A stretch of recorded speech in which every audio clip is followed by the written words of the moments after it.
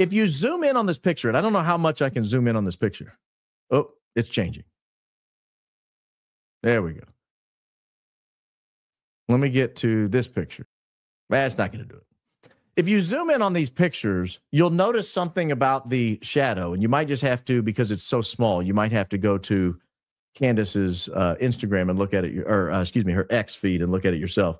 But you'll notice something about these shadows. You see how small those shadows are relative to this equipment in the background?